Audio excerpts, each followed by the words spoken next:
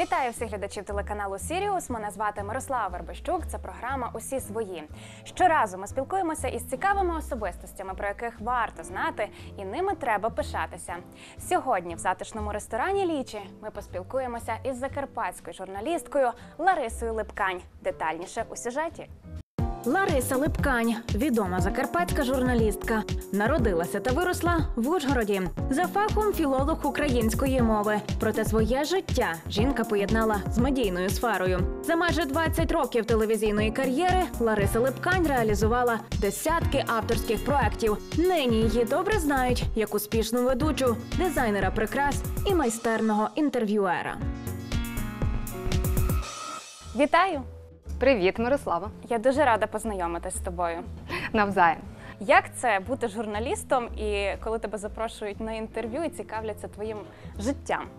От видно, що ти молода журналістка. Ти, ти ще не так часто буваєш по той бік. Насправді це набагато тривожно і страшно. І я тепер розумію своїх е, героїв, з якими я писала інтерв'ю, як вони хвилюються, коли вони потім перепитують, а чи я добре виглядаю, все добре, чи нічого не стерчить.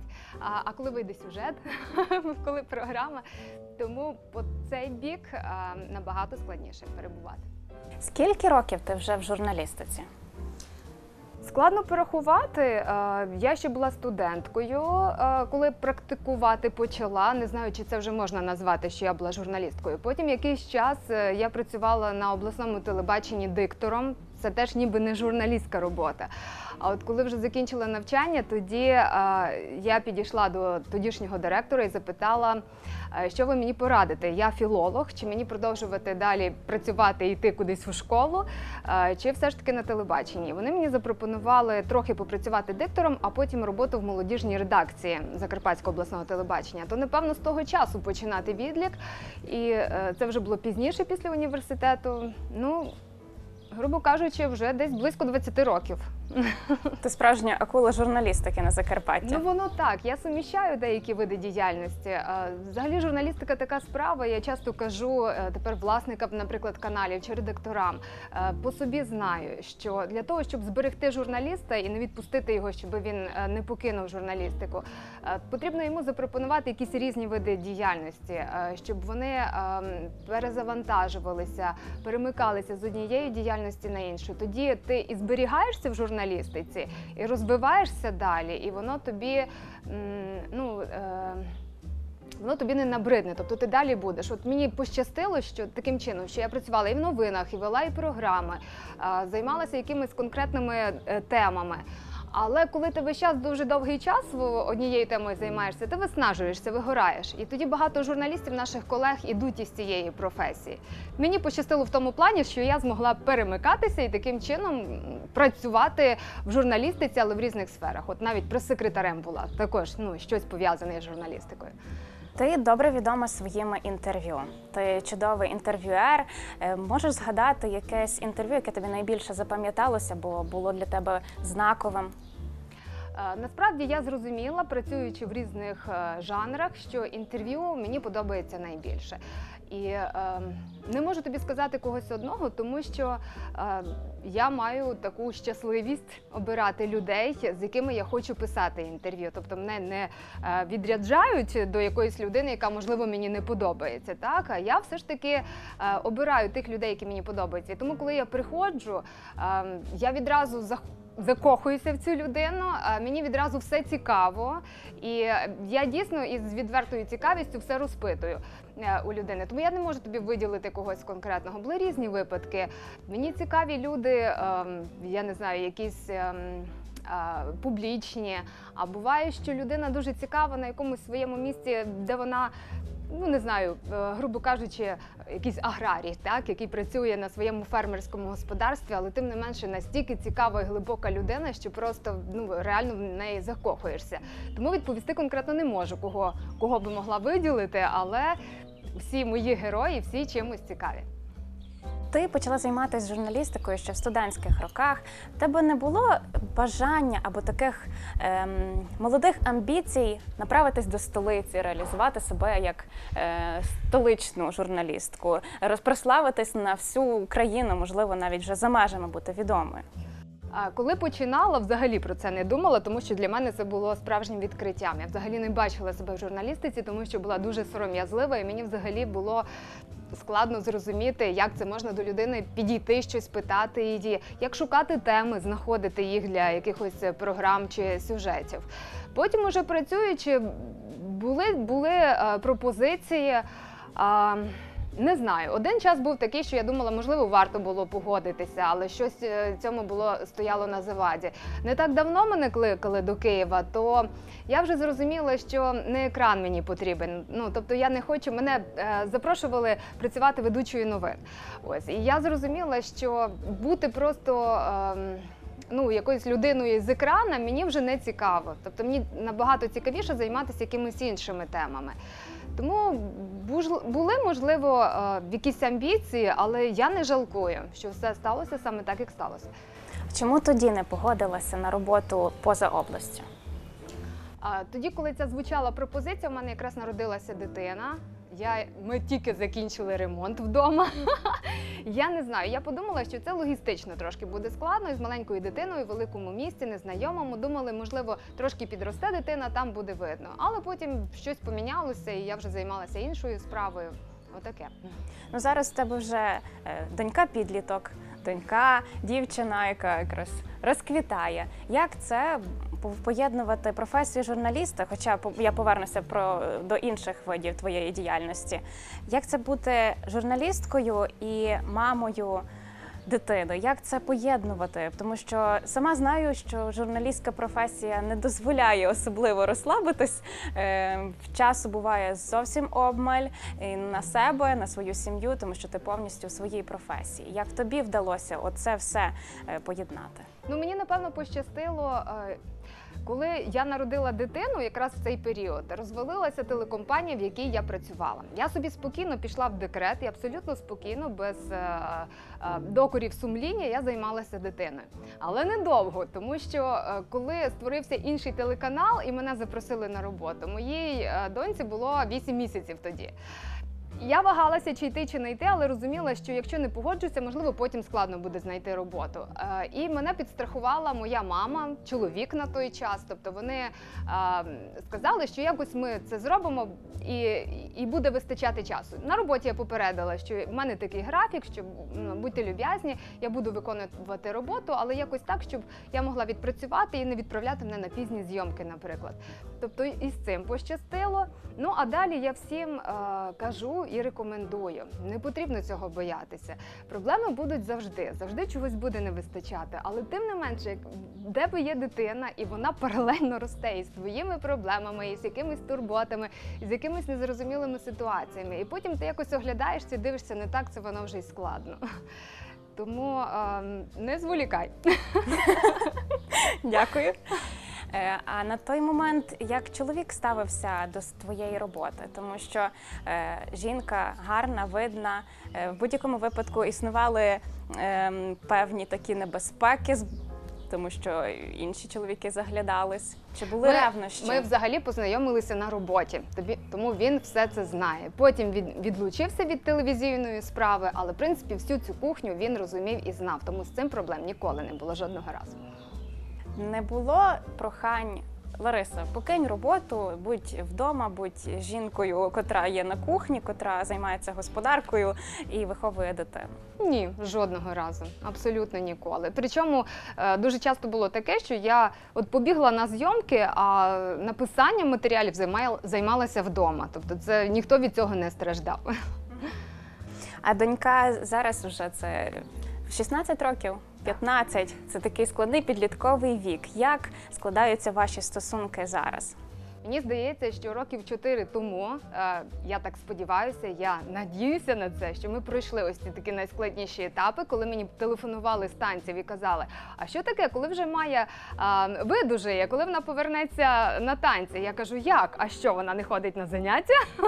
Тобто для мене це було відкриття. Дійсно був такий період, коли вона е, чогось не хотіла ходити танцювати далі. ем, Попередила мене про це, але я наполягла, що давай закінчимо сезон, а потім вирішимо. Напишемо. Але вона собі подумала, що вона краще знає, і поставила мене перед фактом, що вона просто не ходить на танці. Оце такий був період, з яким я зіткнулася, таким підлітковим, так на і так далі.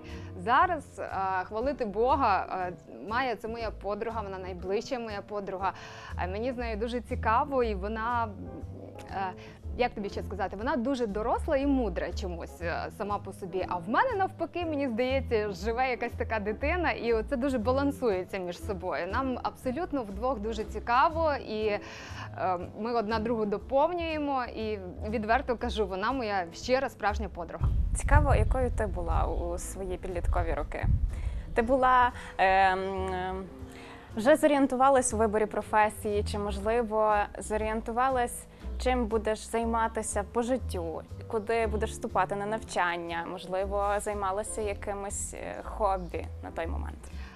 Зовсім була іншою дівчинкою, підлітком, ніж вона. Якраз е, колись на Фейсбуці в соціальних мережах порівнювала фотографії, що дві фотографії поклала поруч. е, Я в 14 років і моя донька в 14. Тобто вона виглядала років на 18, а я в свої 14, десь так на 10, можливо, або 12. Ось, е, тобто сучасні підлітки абсолютно не такі, якими були ми е, колись у свій час. В мене та сама ситуація, тому я її зараз дуже добре розумію, що вона не може визначитися із своїм місцем у житті. Так, так само було і в мене. Я вступила на філологічний факультет, тому що я розуміла, що я все-таки гуманітарій, і туди я можу вступити. Я люблю літературу, непогано пишу, а, грамотно е, висловлюю свої думки там. А, а математика зовсім не моє. Тобто я розуміла, що тут я можу чесно без грошей, без домовленостей, просто вступити. А що буде далі, там собі побачимо. І тому був орієнтир, ну що я могла вибрати? Бути вчителькою української мови. І в принципі, перші початкові курси я на це і спрямовувалася. До речі, коли проходила практику в кінці вже університету, а, і проходила я і в другій школі, мені дуже сподобалося. Мої діти ще досі зі мною вітаються, звертаються до мене. Лариса Петрівна, добрий день, хоча це вже дорослі самостійні люди, абсолютно.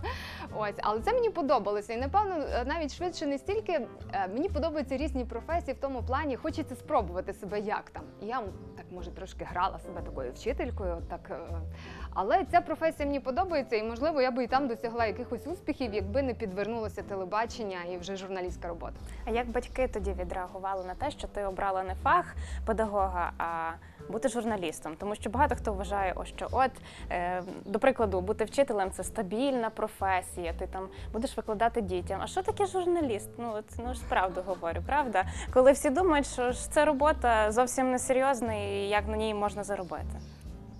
В нашій родині взагалі не було е, журналістів, і поняття не було ні в кого із моїх родичів, що це таке, чи воно серйозне, чи не серйозне. Але моя мама дуже тішилася і дуже гордилася тим, коли побачила мене по телевізору. Вона всім своїм сусідкам розказувала. Я пам'ятаю, що а, в- вони з батьком моїм такі дачники, і вони, коли я робила підводки до програм. Там було е, раз на день, наприклад, там о 18-й годині я повинна була звернутися до телеглядачів і сказати, що, що у нас сьогодні в програмі. То мама бігла з дачі, бігом додому, вмикнути на цей час телевізор, побачити мене і потім уже займатися своїми якимись хатніми справами. Проблем не було абсолютно. Вони завжди підтримували мене у всьому, щоб чим би я не займалася, і е, журналістки. Ну, тим паче в- вони гордилися мною. Зараз тебе частіше можна побачити на телебаченні саме як гостю різних програм. Чи не було в тебе не виникало бажання повернутися знову на екрани закарпатських телеканалів, а можливо, не закарпатських? Якби підвернувся якийсь такий проект, який би був мені цікавий і е, дозволяв вільно розпоряджатися моїм часом і займатися ще іншими е, сферами діяльності, то можливо в якості ведучої чи так само інтерв'юера я би ще спробувала. Але повністю поринути в телевізійну роботу ні, поки що не, не, не жалкую, не сумую за цим. За екраном абсолютно не, не знаю, не страждаю. Нема в мене такого, що я обов'язково хочу в телевізорі там, наприклад, з'явитися. Але в якості е, ведучого і якоїсь такої роботи, яка би мені подобалася, то можливо, якби підвернувся якийсь варіант, то я би погодилася. Окрім роботи журналіста, хочу підвести до твоїх інших видів діяльності. Ти церемонімайстер. ти дизайнер прикрас. Як ти е, взагалі знайшла в собі і час, і сили займатися іще іншими справами, аби їх сповна реалізувати? Ну, мені здається, тут не треба якоїсь напруги для того, щоб цим займатися. Це е, мої швидше навіть хобі, е, заняття до душі. А заняття до душі навпаки дає тобі сили і наснаги займатися ще чимось іншим. Тобто я так само відволікаюся від якоїсь там однієї справи, займаючи це. Ну, воно, воно все творче. Ось ем, що стосується ведучої е, виїзних весільних церемоній, абсолютно випадково з'явилася ця ще сфера моєї діяльності. А, наша весільна агенція, одна відома, запропонувала мені провести одну церемонію. Я спробувала, мені дуже сподобалося. Потім якось воно пішло, почали запрошувати. І зараз я не знаю, я ставлюся до цього як до такої дуже ніжної, романтичної частинки роботи, яка мені дуже дуже подобається направду. Ну і вона не забирає багато часу, тому що ну що там потрібно зустрітися із нареченими, обговорити, яку вони хочуть церемонію. Потім продумати сам сценарій, е, коли я готуюся до якогось, е, ну якщо це церемонія якась особлива. І все, годинку воно займає, але настільки воно все натхненно і красиво і романтично, воно навпаки дає сили ще чимось займатися, тому що ти дійсно щиро тішишся за людей, дивишся, яке все гарне, красиве. І коли приїжджаю на локації, радію, а, радію людям, які робили щось, це, це настільки гарно і ну. Тому я кажу, що ця робота, частинка роботи також приносить мені задоволення і абсолютно мене не обтяжує. Що стосується прикрас, так само під час вишивки, чомусь я собі так придумала, що це мають бути прикраси кольє в основному. Я можу в цей час або переглядати телебачення, або слухати щось, аудіокниги можу слухати, або придумовувати щось, наприклад, да, коли мені треба обдумати якийсь сценарій якоїсь програми, скажімо так, то я можу сидіти і цим займатися. Все ж таки хочу повернутися до весіль, те, як ти їх проводиш. Е, Впевнена, що ти провела їх чимало. Навіть не буду заокруглювати і намагатись це зробити. Чи не виникало в тебе бажання знову наважитися на заміжжя? А, якби поряд була така людина, в якій я була б впевнена на 100%, то чому ні? Я звичайна людина, яка, якій властиві всі людські і е, жіночі бажання. То так? На дворі сезон відпусток. Як ти любиш іще відпочивати? Чи це саме для тебе ідеальний відпочинок, десь втекти в гори, в тихе, в тихе ні, місце? Ні, не завжди. Я собі так, е, я дуже багато подорожую, я завжди стараюся. Кудись вибратися е, у відпустку або літні канікули, коли у моєї доньки були, е, ми завжди кудись вирушали. Але я впіймала себе на тому, що е, я чергую, наприклад, відпочинок активний і пасивний. В якийсь час мені хочеться просто лежати з книжкою на пляжі, нікуди не ходити і чекати, коли буде там вечеря чи обід. Ось і нікуди не рипатися. Таке правда буває недовго, тому що на якісь екскурсії я все одно потім вирушаю. А буває таке, що я хочу навпаки дуже дуже активний відпочинок. Мені не хочеться взагалі, е, наприклад, моря там чи в ну якогось такого відпочинку. Тоді ми вирушаємо в гори, в походи. В Норвегії ми були в експедиції. Ось тепер, наприклад, е, цього року в мене був відпочинок в Таїланді. Він доволі пасивний. Але на серпень я вже собі запланувала такий автобусний тур Європою, де буде багато різних місць, багато, е, багато архітектури, е, багато треба буде ходити пішки. Ось мені такого зараз хочеться. Тому я чергую такий відпочинок із активним і з пасивним. Яка країна тобі найбільше сподобалась? Можливо, ем, досить таке гостре питання і актуальне для нашої області. Чи не задумувалась ти е, змінити місце проживання? Тому що багато творчих людей, зважаючи на ситуацію в країні, чомусь обирають е, проживання де-інде. Ні, ніколи такого не було. Я люблю подорожувати, але я і люблю повертатися додому.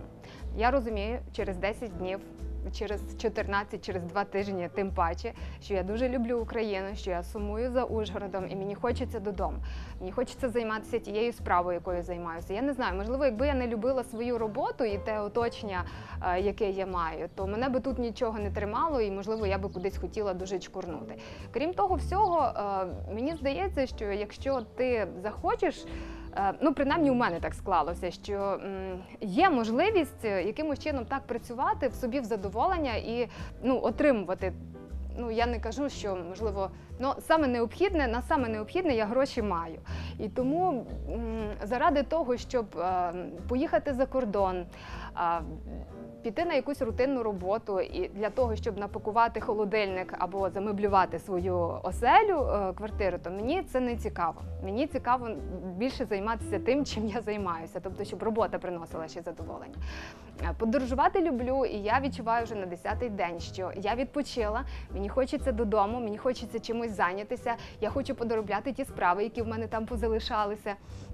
Я відчуваю енергію і е, мене дійсно тягне додому. Тому не було такого. Мені здається, я би дуже важко би переносила. У мене була би така дуже сильна туга за домом, за, за батьківщиною, за Ужгородом, за оточенням, за друзями. Не знаю, не було такого в мене. Дякую тобі за відверте і цікаве інтерв'ю. Була дуже рада з тобою познайомитись. Сподіваюсь, бачимось з тобою не востаннє. Спасибі тобі навзаєм, Мирослава, і тобі також успіхів і цікавих героїв. Дякую. Нагадаю, гостею нашої програми була закарпатська журналістка, дизайнер, церемонімейстер Лариса Лепкань. На сьогодні це все. Дякую, що були з нами. До наступних зустрічей і хай вам щастить!